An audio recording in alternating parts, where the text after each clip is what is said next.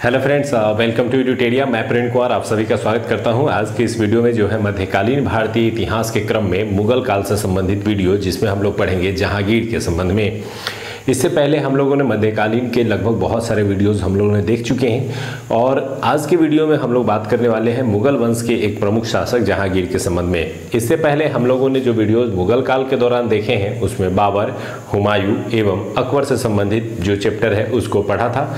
इसके अलावा शेरशाह सूरी से संबंधित वीडियो भी आपको अपलोड कर दिए गए हैं, जो कि आपको प्ले में मिल जाएँगे। आज हम लोग बात करने वाले हैं जहांगीर के बारे में, जो कि अकबर का पुत्र था और अकबर के बाद जो है वो मुगल वंश का शासक बन करके आता है। तो जो इसकी बेसिक कहानी है, उन पॉइंट्स को भी हम लोग देखेंगे। इसके अलावा इनसे जुड़े हुए जितने भी पॉइंट्स हैं, जहाँ से प्रश्न बन सकते हैं या बने हैं अब तक, उन सारे बिंदुओं को हम लोग जो है ऑब्जेक्टिव के रूप में देखेंगे। इसके अलावा पूरे चैप्टर्स के थीम को समझेंगे, ताकि आने वाले किसी भी एग्ज़ाम के लिए आप तैयार रह सकें। तो चलिए दोस्तों, शुरू करते हैं। आज के इस चैप्टर को जो है महत्वपूर्ण चैप्टर है, जहांगीर।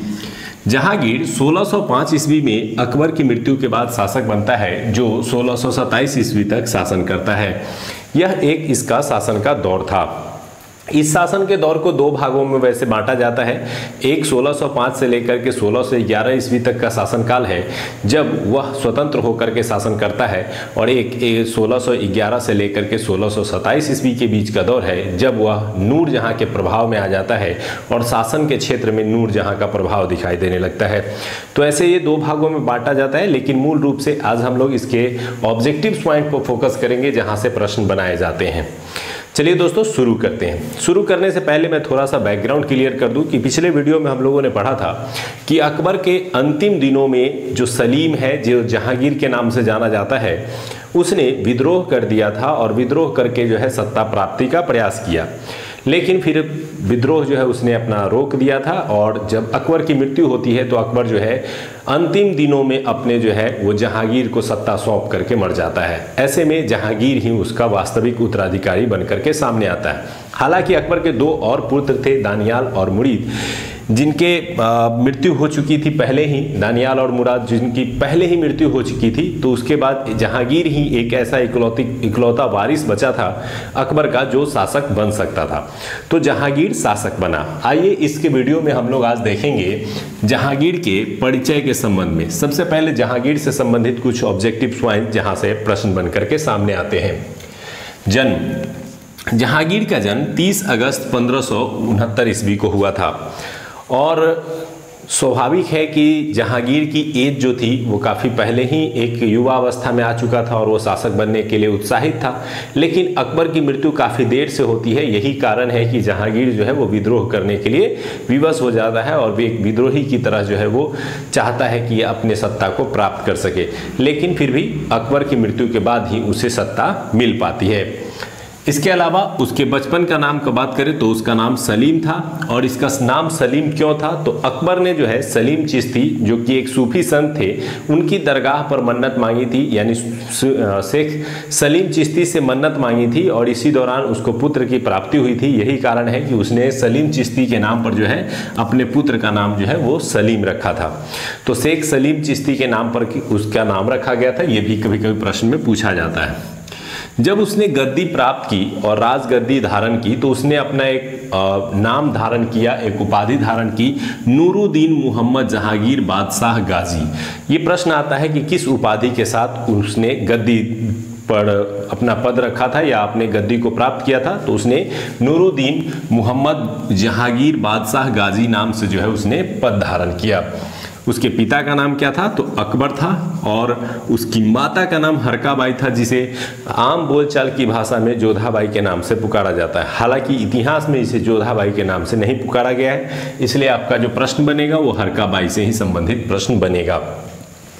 राज्य अभिषेक राज्य अभिषेक यानी राजा बनने की घटना तो अकबर की मृत्यु के बाद 3 नवंबर 1605 ईस्वी को जो है, वह राजा बनता है और गद्दी पर बैठता है बादशाह के उपाधि के साथ और पूरा नाम जो रखता है, वो क्या रखता है? नूरुद्दीन मोहम्मद जहांगीर बादशाह गाजी। और इस उपाधि के साथ जो है, वो मुगल वंश का अगला शासक बन जाता है। इसके अलावा बात करें तो इसकी एक घटना जो कि काफ़ी प्रचलित है, वो अनारकली से प्रेम की घटना। ये आपने मुगल आज़म फ़िल्म में भी देखी होगी या सुना होगा कि अनारकली और सलीम का प्रेम था और अकबर उसका जो है विरोधी हुआ करता था। इस घटना के संबंध में कई कहानियाँ प्रचलित हैं, लेकिन इसमें अगर जो रियल कहानी थोड़ी सी दिखाई पड़ती है, वो ये है कि सलीम छोटा था, यानी 12-13 साल की आयु का था, और अकबर के दरबार में एक नृत्यांगना थी, जिसका नाम था अनारकली। लेकिन सलीम का जो झुकाव था, वो अनारकली की तरफ़ जो है, वो काफ़ी ज़्यादा बढ़ चुका था। नतीजा ये होता था कि अपने दिन का अधिकांश समय जो है, वो सलीम अनारकली के साथ बिताना पसंद करता था। इस बात से अकबर चिटता था, क्योंकि वो अपने पुत्र से बहुत स्नेह करता था। नतीजा ये हुआ कि उसने अनारकली को जो है अपने दरबार से बाहर निकलवा दिया और अनारकली को जो है वो भारत के सीमा पार भेज देता है अफ़गानिस्तान क्षेत्र की तरफ़। और इस तरह से सलीम और अनारकली बिछड़ जाते हैं।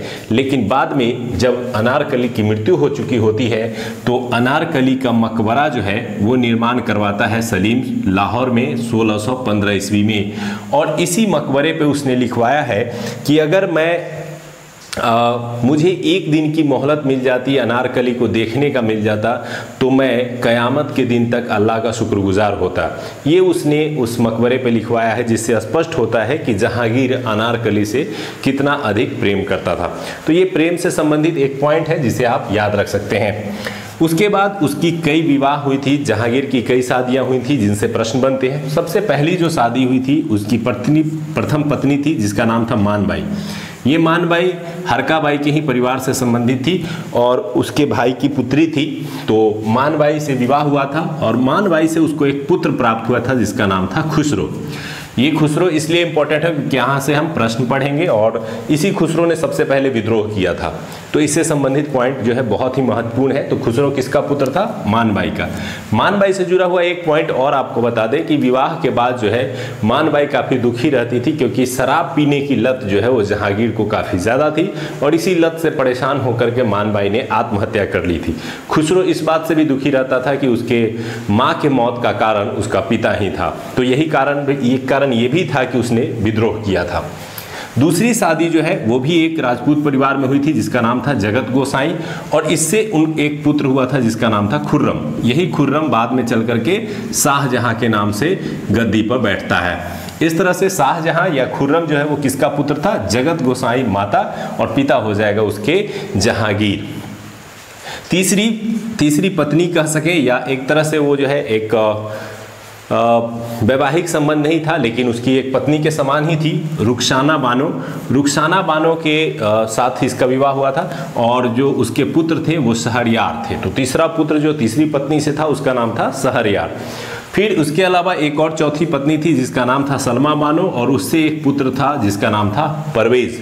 और फिर 1611 ईस्वी में एक और शादी होती है, जहांगीर की, जो जहांगीर के लिए काफ़ी महत्वपूर्ण साबित होता है। वो पांचवी शादी होती है नूर जहाँ के साथ। और नूर जहाँ की पहले से ही एक बेटी थी बेटी थी, जिसकी नाम थी लाडली बेगम। ये नूर जहाँ के पहले पति से हुए पुत्री थी। तो इस प्रकार से आपने ये परिचय से संबंधित पॉइंट देखा, जिसमें हम लोगों ने जहांगीर से संबंधित कुछ बिंदुओं को देखा जो परिचय के संबंध में। उम्मीद करते हैं कि यहाँ तक के आप पॉइंट समझ चुके होंगे। अब आइए बात करते हैं प्रारंभिक शासन। प्रारंभिक शासन के दौर में क्या हुआ? जहांगीर ने सत्ता प्राप्त की। सत्ता प्राप्त करने के साथ वो जो उसके आसपास के जो नज़दीकी लोग थे, जिन्हें वो पसंद करता था, उसे उसने अच्छे पद दिए। जिसमें वीर सिंह बुंदेला भी शामिल था, जिसकी सहायता से उसने अबुल फजल की हत्या करवाई थी। तो उसे भी एक अच्छा पद दिया। ये देख करके खुसरो जो है, वो विद्रोही होने लगता है। इसका कारण ये है कि जब जहांगीर शासक बनता है तो उसकी उम्र लगभग बीस साल या बाईस साल के आसपास हो चुकी थी। खुसरो देखता है कि अगर मेरा पिता इस समय राजा बन रहा है, अगर वो 20-22 साल भी शासन करता है तो स्वाभाविक है कि मैं उस समय तक 40 या 44 की उम्र का हो जाऊँगा तो मुझे अवसर नहीं मिलेगा शासन करने का। यही कारण है कि खुसरो जो है वो 1616 एक वर्ष बाद ही विद्रोह कर देता है। विद्रोही स्वभाव देखते हुए अकबर जहांगीर जो है उसे नज़रबंद करता है, लेकिन फिर भी वो भाग निकलता है।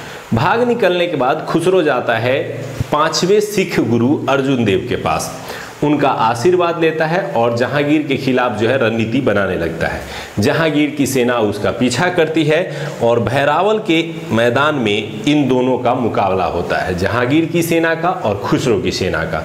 खुसरो पराजित हो जाता है और खुसरो को ला करके नज़रबंद कर दिया जाता है और एक कैद में रख दिया जाता है।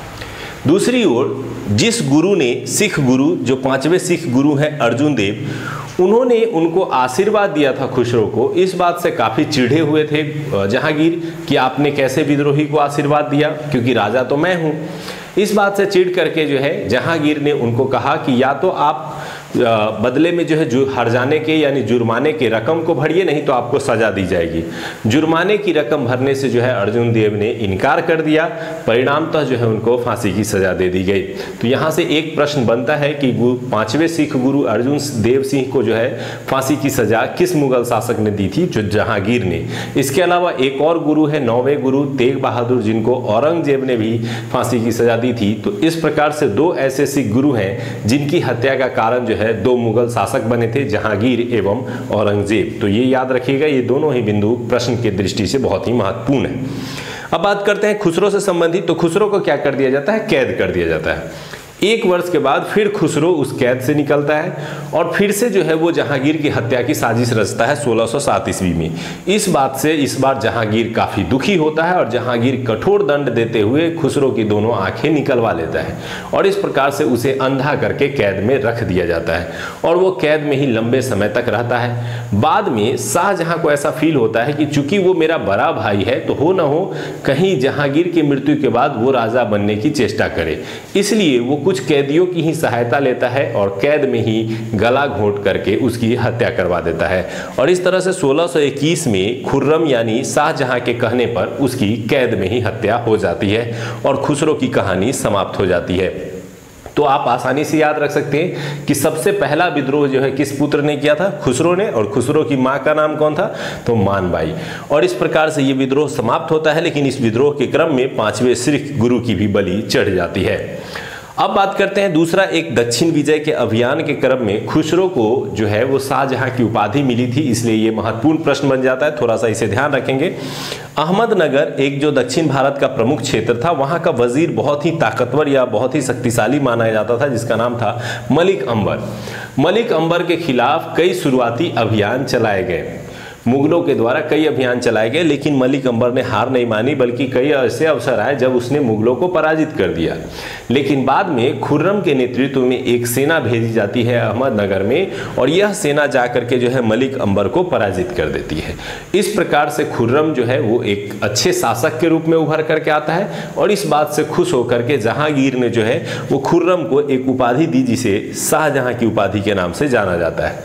तो यहाँ पे आप मलिक अंबर के नाम को और शाह शाहजहां की उपाधि को और किसको दिया गया? खुर्रम को। कई बार शाहजहां का वास्तविक नाम भी परीक्षा में पूछा गया है तो इसलिए आप इसे ज़रूर याद रखिए।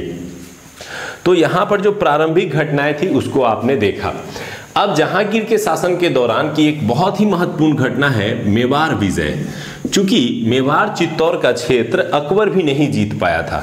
महाराणा महाराणा प्रताप से उसका संघर्ष ज़रूर हुआ था, लेकिन महाराणा प्रताप की मृत्यु तक भी वह पूरे मेवाड़ क्षेत्र पर शासन नहीं कर पाया था। केवल अकबर जो है वो चित्तौड़ क्षेत्र पर ही शासन कर रहा था, बाकी जो उसके साम्राज्य के क्षेत्र थे, वो पुनः महाराणा प्रताप के हाथों में चला गया था। हालाँकि महाराणा प्रताप की मृत्यु अकबर के ही समय हो जाती है। अब महाराणा प्रताप के मृत्यु के बाद क्या होता है? उनका पुत्र जो था, अमर सिंह शासक बनता है। तो ये आप याद रखेंगे कि महाराणा प्रताप के बाद उनका पुत्र जो है, अमर सिंह शासक बनकर के आता है। वह मेवाड़ का शासक बनता है। दूसरी ओर, यहाँ मुगल बादशाह के रूप में जहांगीर शासक बनता है। जहांगीर को भी पता था कि मेवाड़ एक बहुत ही बड़ा क्षेत्र है और बहुत ही ताकतवर क्षेत्र है, इसलिए वो मेवाड़ को दबाने के लिए शुरुआती दौर में ही अपने सेना को भेजना शुरू कर देता है। सेना जैसे ही मेवाड़ में पहुँचती है तो अमर सिंह के पास दो ऑप्शन थे। या तो वह जो है अधीनता स्वीकार कर ले, जैसे अधिकांश राजपूत राजाओं ने किया था, या फिर वह उसी प्रकार से संघर्ष करे जैसे उसके पिता ने किया था। उसने अपने पिता के ऑप्शन को चुना और जहांगीर के साथ, यानी उसकी सेना के साथ संघर्ष करने का निर्णय लिया और संघर्ष करना प्रारंभ कर देता है। शुरुआती संघर्ष में वो कई बार सेना को पराजित भी करता है। दूसरी ओर खुसरो के द्वारा किए जा रहे विद्रोह के क्रम में जहांगीर वहाँ से अपनी सेना बुला करके खुसरो के खिलाफ लगा देता है। फाइनली एक समय ऐसा आता है कि गुस्सा करके जहांगीर जो है अपने पुत्र खुर्रम, यानी शाहजहां को ही मेवाड़ विजय के लिए भी भेज देता है। यह घटना है 1613 ईस्वी की। 1613 ईस्वी में जहांगीर भी अजमेर की यात्रा के लिए गया था और इसी दौरान उसने खुर्रम को जो है मेवाड़ जीतने के लिए भेजा। खुर्रम ने वहाँ जाकर के बहुत कतलेआम मचाए, पूरे फ़सल नष्ट करवा दिए और किसानों को बहुत प्रताड़ित किया। परिणाम स्वरूप अमर सिंह को ऐसा एहसास हुआ कि अब उसके सामने ऑप्शन नहीं है, उसे संधि कर लेना चाहिए। अंततः अमर सिंह ने खुर्रम के सामने संधि का प्रस्ताव रखा। शाहजहां ने भी, यानी खुर्रम ने भी इस प्रस्ताव को स्वीकार कर लिया और फाइनली मेवार एवं मुगलों के बीच चित्तौड़ की संधि हुई, जिसे 1615 ईस्वी में संधि के रूप में जाना जाता है। यह प्रश्न बहुत ही महत्वपूर्ण है कि अंततः मेवार का विलय मुगल साम्राज्य में किसके समय हुआ था? तो जहांगीर के समय हुआ था और इस विलय के दौरान जो सेनापति के रूप में जो नेतृत्व कर रहा था, वो खुर्रम, यानी शाहजहां था। अब एक संधि होती है। संधि की कुछ शर्तें हैं जिन्हें आप थोड़ा ध्यान में रख सकते हैं। ये अन्य राजपूत संधियों से थोड़ी सी अलग संधि थी। इस संधि के दौरान राणा ने माना कि हम मुगलों के अधीन है, यानी मुगलों ने हमें पराजित किया है, इस तरह की संधि के रूप में उन्होंने स्वीकार कर लिया।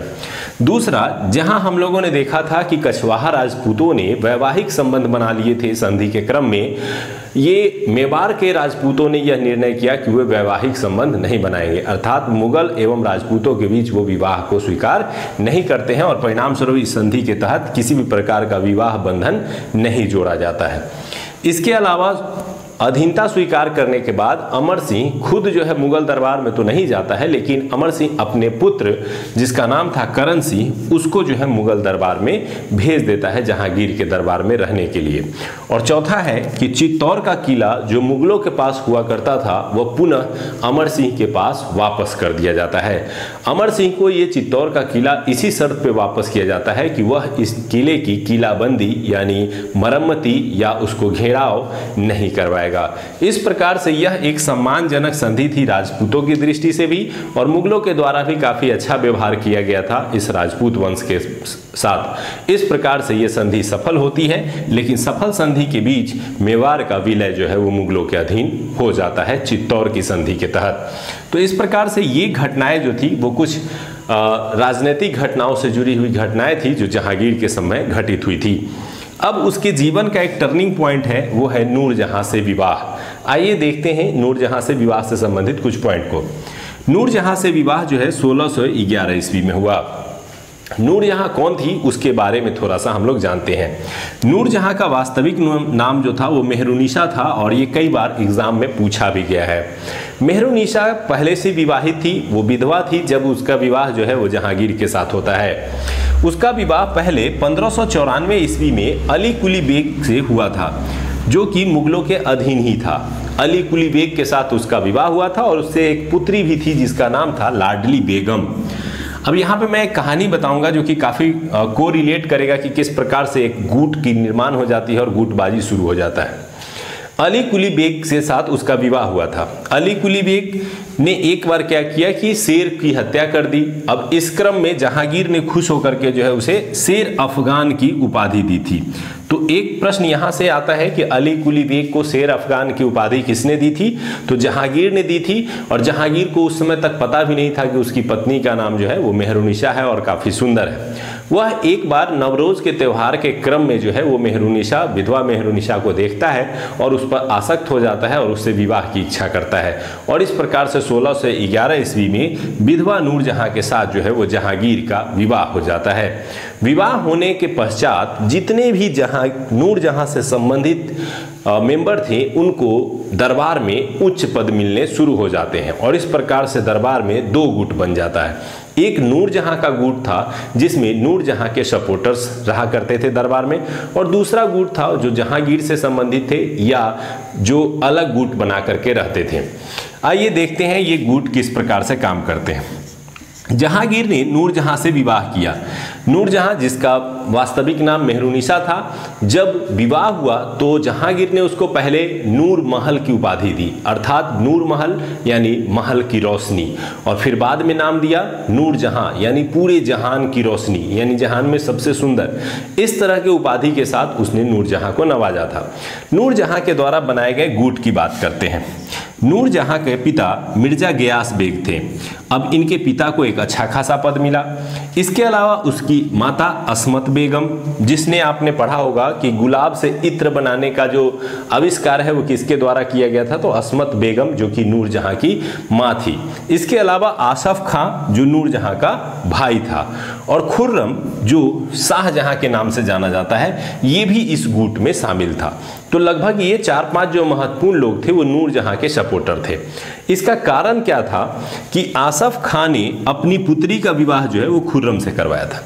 तो आसफ खां चाहते थे कि उसका दामाद जो है खुर्रम, शाहजहां, वो शासक बने। और वास्तव में खुसरो के बाद वही सबसे योग्य था तो वो शासक बनने की श्रेणी में भी था। लेकिन बाद में चल करके आसफ खां और नूरजहां के बीच भी विभेद शुरू होता है। क्यों?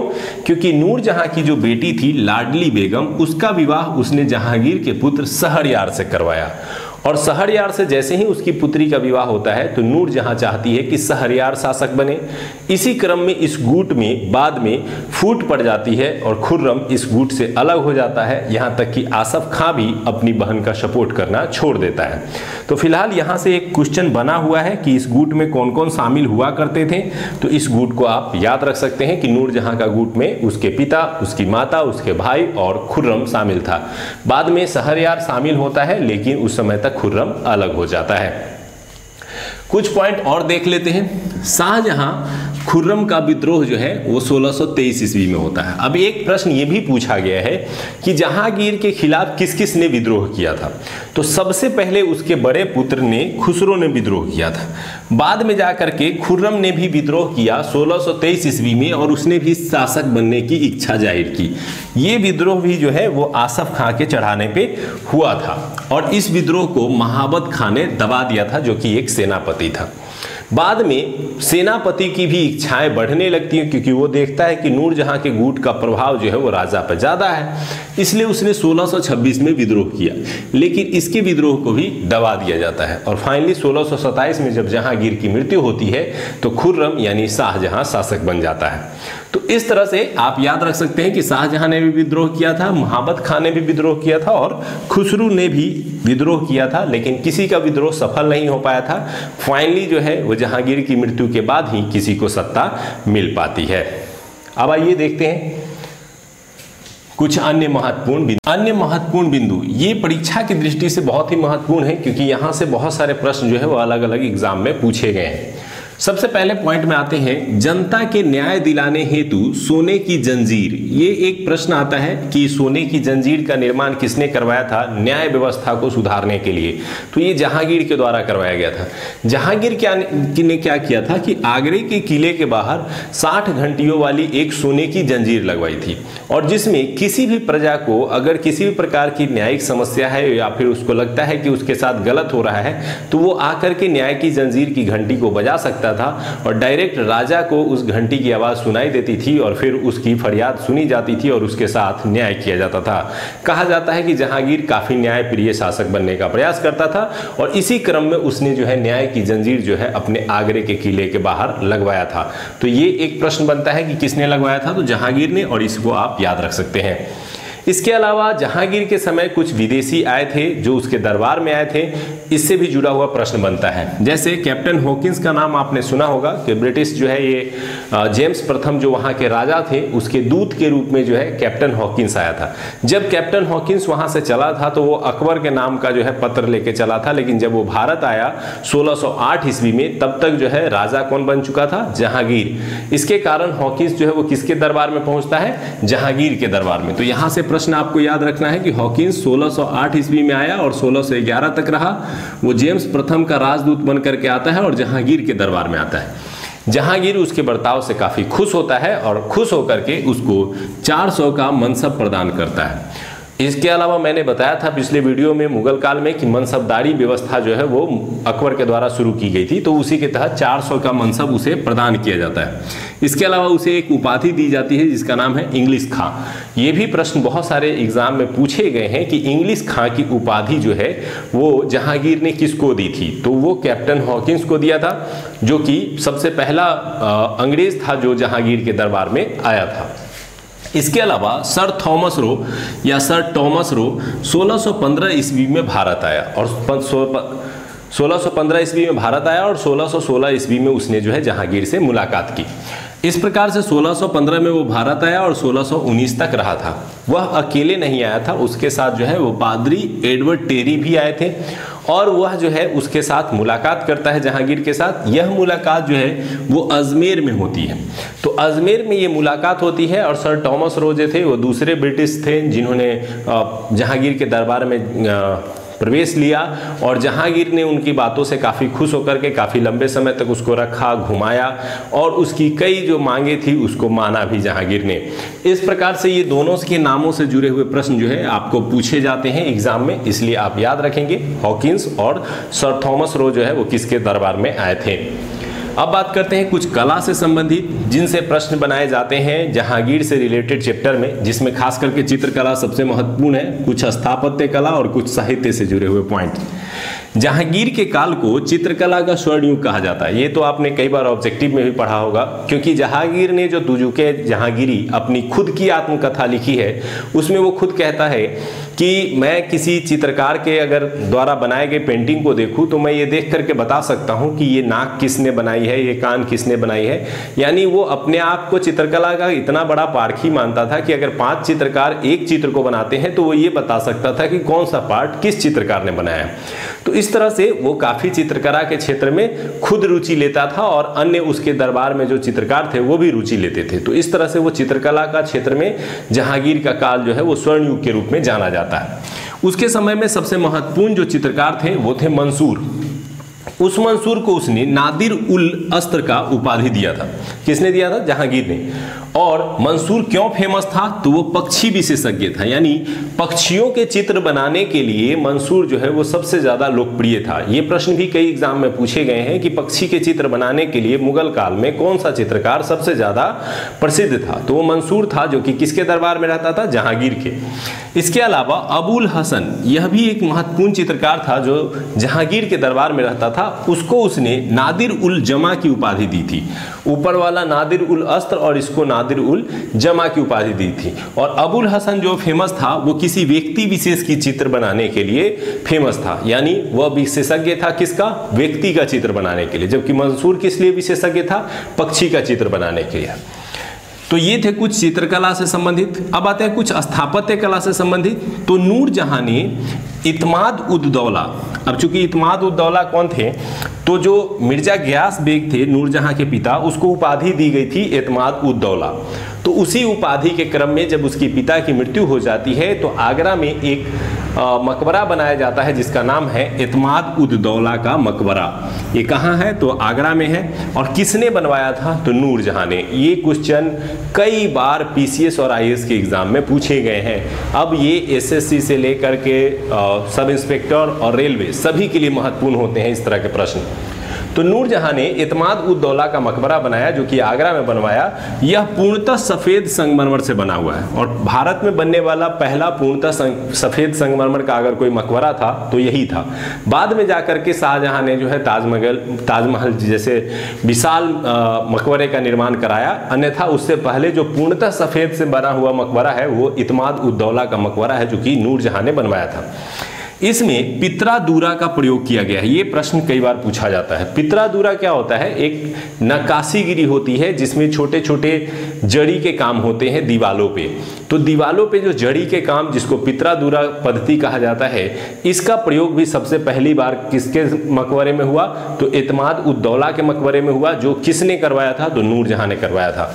तो ये दोनों ही पॉइंट आपको काफ़ी महत्वपूर्ण है। इसके अलावा जहांगीर की जब मृत्यु होती है सोलह ईस्वी में तो इसका मकबरा भी बनाया गया है और जहांगीर का मकबरा कहाँ बना है?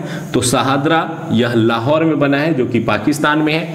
और इस तरह से सहादरा लाहौर में जो है, वो जहांगीर का मकबरा बना हुआ है। यहाँ से भी प्रश्न आता है कि वर्तमान भारतीय सीमा क्षेत्र से बाहर किस मुगल शासक के मकबरे बने हैं? तो जिस तरह से आपने पढ़ा था कि बाबर का मकबरा जो है, काबुल में बना हुआ है, उसी तरह से जहांगीर का मकबरा जो है, वो लाहौर में बना हुआ है। ये आपको याद रख सकते हैं।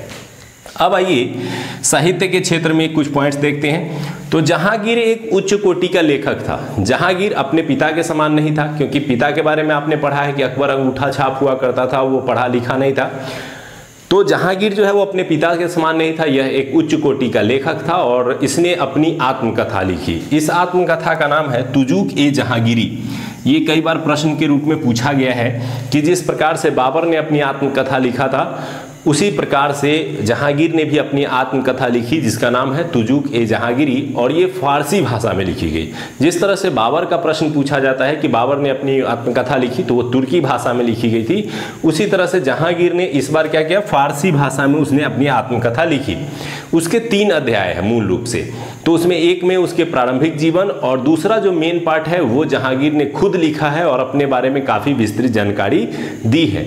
लेकिन जब वह मर जाता है तो उसके बाद तीसरा अध्याय जोड़ा जाता है और उसमें उसके मरने के बाद की कहानियाँ जोड़ी गई हैं। यह उसके बाद की कहानियाँ जो है, वो मोहम्मद हादी के द्वारा जो है इसमें पूरा किया गया है। तो एक प्रश्न यहाँ से बन सकता है। फ़िलहाल आप ये याद रख सकते हैं कि उसने अपनी आत्मकथा तुजू के जहांगीरी लिखी है फारसी भाषा में और बाद में उसमें जो है मोहम्मद हादी ने जो है कुछ पॉइंट्स जोड़े थे। इसके अलावा जहांगीर के द्वारा एक सैन्य सुधार किया गया था, जिससे प्रश्न पूछा जाता है।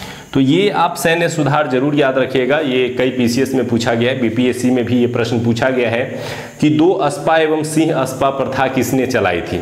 तो दो अस्पा और सिंह अस्पा प्रथा क्या थी? सबसे पहले इसको समझ लेते तो आसानी से याद हो जाएगा। हम लोगों ने पढ़ा था अकबर के चैप्टर में कि उसने मनसबदारी प्रथा चलाई थी और सवार बनाया था, जिसके अनुसार वो कितने घुड़सवार रखता था। तो उसकी सीमा निर्धारित की गई थी। तो जहांगीर ने क्या किया? उसी सिस्टम में एक चेंज लाया, जिसका नाम रखा दो अस्पा और सिंह अस्पा। उसने कहा कि जितने भी सवार, यानी किसी को अगर एक हज़ार घोड़े रखने की परमिशन दी गई है सवार के तहत तो उसको अगर डबल कर देंगे और पद वही रहेगा और दोगुने घोड़े रखने होंगे तो वो कहलाएगा दो अस्पा। और अगर उसको ट्रिपल कर देंगे तो उसको कहा जाएगा सिंह अस्पा। तो यानी दो अस्पा का मतलब है कि सवार पद वाले व्यक्ति को दोगुने घोड़े रखने होंगे। यानी पहले जितने घोड़े रखते थे, उसके दोगुने घोड़े उसको रखने होंगे। और सिंह अस्पा उसको कहा जाएगा, जो सवार पद के साथ तीन गुने घोड़े रखेगा, उसको सिंह अस्पा कहा जाएगा। यानी ये सेना से संबंधित एक सुधार था, जो कि जहांगीर के समय में किया गया था। तो इस प्रकार से दो अस्पा और सिंह अस्पा की प्रथा किसने चलाई थी? तो जहांगीर ने, और मनसबदारी प्रथा किसने चलाई थी? तो अकबर ने चलवाई थी। तो आज के वीडियो में हम लोगों ने जहांगीर से संबंधित उसके प्रारंभिक जीवन, उसके प्रारंभिक संघर्ष, उसके प्रमुख विजय, उसमें नूरजहां के संबंधित पॉइंट्स और ऐसे महत्वपूर्ण बिंदु जो उसके चैप्टर से जुड़े हुए हैं और एग्ज़ाम की दृष्टि से बहुत ही महत्वपूर्ण है, उसको हम लोगों ने डिस्कस किया। उम्मीद करते हैं कि आपको मज़ा आया होगा आज के इस चैप्टर को पढ़ करके। तो अगले चैप्टर में हम लोग इसके बाद के चैप्टर यानी शाहजहां से संबंधित पॉइंट्स को देखेंगे। इसको अच्छे से तैयार कर लीजिए पेन डाउन कर लीजिए और इसके ऑब्जेक्टिव ज़रूर बनाइएगा। बुक से भी आप पढ़ना चाहते हैं तो बिल्कुल एक बार अच्छे से बुक से पढ़े ताकि आपके नॉलेज बेहतर हो सके, क्योंकि हम चाहते हैं कि आपकी तैयारी बेहतर हो। और आप एक अधिकारी बन करके दिखाएँ। तो धन्यवाद दोस्तों, इडुटेरिया से जुड़ने के लिए और हमारा साथ देने के लिए। थैंक यू मिलेंगे फिर अगले वीडियो में। धन्यवाद।